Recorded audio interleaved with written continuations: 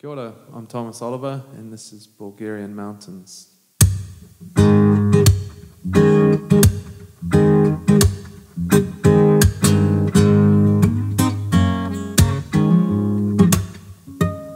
Well, I asked her over a Belgian beer in Amsterdam.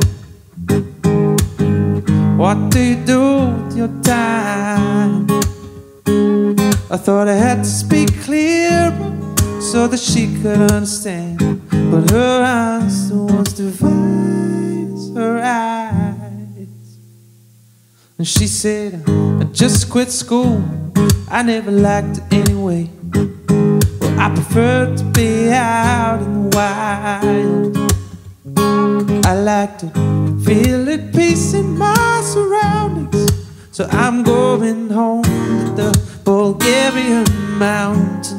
And she made me feel like I could be free, like she seems to be like she's going home to the Bulgarian mountains. I quit uni too, I told her proudly.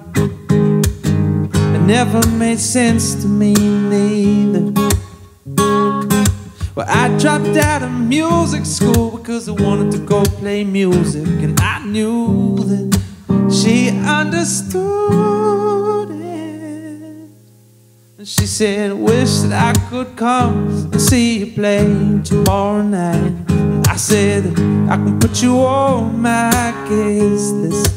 And she said, Thank you, but sorry, I'm leaving town Bulgarian mountains. And she made me feel like I could be free, like she seems to be like she's going home in the Bulgarian mountains. Well, I'd flown for 30 hours across creation and landed in a perfect conversation. Well, I really don't know anything about them, but now I'll always like the Bulgarian mountains. Yeah, I'll always like the Bulgarian mountains. And she made me feel like I could be free, like she seems to be like. She made me feel like I could be free, like she seems